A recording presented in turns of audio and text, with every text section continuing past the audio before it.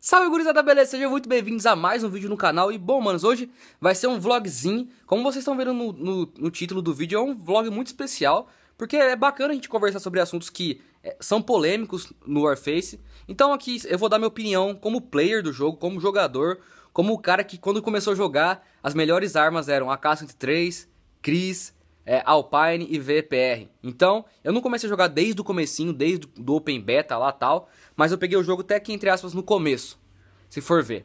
Então, cara, é, como vocês estão vendo no título aí, a pergunta é, você acha o Warface Pay to Win, cara? E por que, que eu tô fazendo esse vídeo? É, o pessoal da Level Up, lá do nosso grupo dos parceiros, é, teve um post que falaram pra gente, ah, pra galera que é parceiro, quem quiser fazer um vídeo, quem quiser se pronunciar sobre isso, falar sobre o jogo, se é pay to win ou não, dê sua opinião. Quem quiser fazer um vídeo, faça e manda, manda pra gente. Que a gente vai ver tal. Pode ser que a gente divulgue na página tal. E teve muitos que comentaram ali do post mesmo, e teve outros como eu que vou fazer um vídeo falando. Que eu acho um assunto muito legal, muito bacana de a gente abordar. Primeiro de tudo, eu já falei, um, já falei sobre isso num vídeo, até eu gravei com a minha conta principal na época, que era o título assim: Dá para jogar Full GP? Warface dá pra jogar Full GP? Eu vou deixar o link, o primeiro link da descrição vai ser esse vídeo. Por quê? Lá eu falo mais detalhadamente sobre o assunto de Pay to Win, sobre Full GP, se dá pra jogar, se não dá. E eu, eu tava falando, jogando uma Storm também. Então, era uma gameplay conversando sobre esse assunto. Eu vou deixar aqui no primeiro link da descrição. Hoje vai ser só um vlog, porque o meu computador ainda não chegou do concerto. E futuramente, talvez hoje, hoje à tarde, ou talvez amanhã, atualizo vocês sobre o, meu, o estado do meu computador. Enfim, Bom, manos, eu vou falar aqui a minha opinião, como eu, como eu havia falado, como jogador, como player, e nem vou citar parceria nisso, tá ligado? Eu vou falar como um cara que teve experiência no jogo, mais de anos, né? Então, cara, pra mim, o Warface, é, ele não é, assim, 100% pay to win. Ele é muito menos do que antes, quando começou. Eu vou explicar o porquê. Quando eu comecei a jogar, as armas que você conseguia, é, boas, eram nos fornecedores, que eram a Cris, a K-103, a Alpine, a VPR. Então, os caras que conseguiam liberar essas armas no começo, os caras eram os pica, tá ligado? Então, você dava medo. Os caras, caralho, o cara de AK-103, caralho, o cara de Cris, o cara de VPR, corre. Era mais ou menos assim, tá ligado? Hoje em dia parece besta, mas era assim, pra você ter noção, era assim. E teve uma época muito difícil no Airface, que teve a transição, que quando chegaram XM8 Compact, Saiga Bullpup, é, Sheitek eu acho que era na época, não lembro a arma de sniper na época, mas eu acho que deve ser a Sheitec, me corrija se eu estiver errado.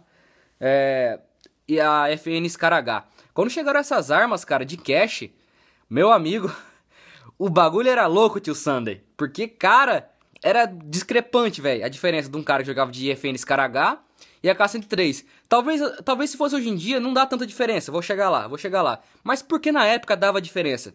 Porque foi uma coisa muito nova pra gente. Chegou de uma hora assim, e o pessoal que tava de AK-103 já ficou bolada e falou: caralho, já botou na cabeça que não tem como bater contra cash, não tem como, não tem como, não tem como.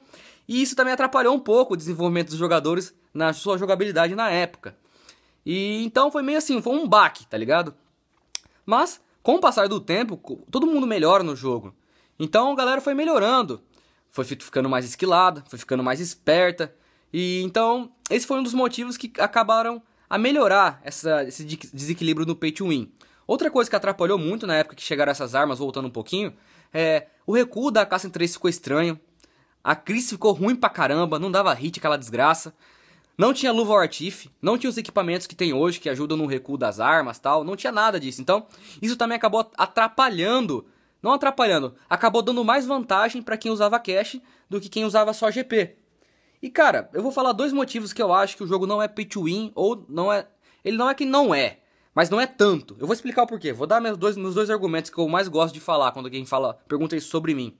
Igual eu falei, antigamente era muito desequilibrado os equipamentos de GP com os de cash, dava tipo uma discrepância muito grande. É, então hoje em dia, cara, quando você for jogar, vamos supor, na minha conta principal, eu jogo Full Artif com todas as classes. Só na classe de engenheiro que eu uso o colete Komodo. E então, cara, chegou equipamentos bons de GP. Demorou para chegar, demorou. Mas agora que chegou, você consegue quebrar um galho. Você consegue quebrar um galho jogando de boa com a Embel, com a Veresk, com a PP2000, com a Beretta, é, com a Cris hoje em dia dá pra brincar. A Alpine nem se fala que é muito boa. Aquela M40, né, uma Sniper, também dá pra jogar de boa. É, teve armas de GP que ficaram de armas de cash que ficaram de GP, como a Anacon, que eu consegui pegar. Até no log ganha você consegue. É, a Beretta, Beretta não, a Benelli também é boa de jogar, tá ligado? Então, acabou tendo armas boas e equipamentos bons, como luvas Vartif, os próprios itens de Crown. É, então, teve, teve equipamento e teve arma melhor do que daquela época. Então, deu uma igualada, dá para jogar. É que o pessoal gosta muito de coisa fácil, é um tiro mata, ou quer dar dois tiros e mata. Então, galera, vocês têm que ter noção também que querendo ou não você jogar de GP, às vezes, eu não acho que vê tanta, eu não vejo tanta diferença pro cara que joga de cash. Mas você que joga de GP, sempre jogou, você vai ter talvez uma facilidade melhor de matar o cara, por incrível que pareça, porque você sofreu mais no começo. E agora, entre aspas, está melhor. Então, é nesse ponto que eu quero falar, vocês melhoraram a jogabilidade, vocês ficaram melhores. Antigamente era muito fácil jogar Warface quem tava de cash, contra alguém que tava de GP, porque os caras ficaram perdidos no jogo, tá ligado? Mas hoje em dia, vocês melhoraram muito a sua jogabilidade. Então, os dois motivos que eu acho que o jogo não é tão pay to win em questão de equipamento e de arma é porque vocês ficaram muito bons jogando, vocês melhoraram. Não, óbvio, óbvio que não todos, 100%. Mas em comparação, a maioria de antes com a maioria de agora, a maioria de agora troca muito mais bala, vocês estão mais ligeiro, com mais reflexo, vocês têm mais noção do game, vocês conseguem acostumar com os problemas de netcode, com os, todos os problemas que tem, vocês passam por cima disso. E vocês são jogadores melhores do que antes. Juntamente com o meu segundo argumento, que é o dos equipamentos que eu, que eu acabei de falar. Os equipamentos, as armas. Cara, você não conseguir jogar de Imbel nesse jogo, você é maluco. Pra mim, Imbel é a melhor arma de fuzileiro do jogo. Cara, não tem como você não conseguir jogar de Imbel. Na minha cabeça, por exemplo, entendeu?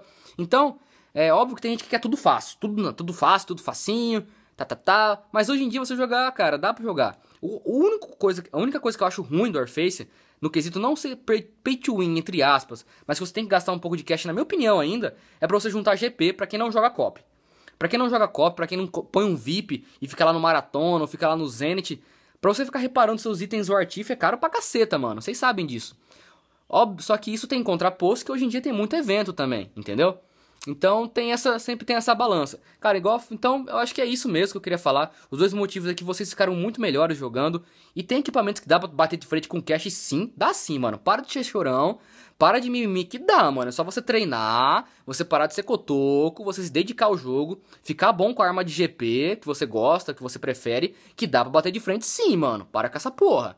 Então, eu quero que você deixe nos comentários a sua opinião sincera é, sem nada de. Sem comentar bosta, mano. Comenta sua opinião sincera, do jeito maduro. Que esse vídeo eu vou mandar lá pro pessoal da Level Up. Vou publicar, posso publicar lá no grupo dos parceiros tal. Hum, então é isso. Eu acho que é isso. Eu queria falar um pouquinho da minha opinião. Primeiro link na descrição vai ser o vídeo falando sobre se dá pra jogar Full GP no Airface ou não. Um vídeo que eu fiz um pouquinho antigo, mas é bacana também. Então, fico por aqui. Um beijo no coração. Tudo de bom pra vocês e conto com vocês no próximo vídeo, demorou? Não esquece de comentar aí e deixar o seu like maroto. 150 likes pin nos comentários. Fui!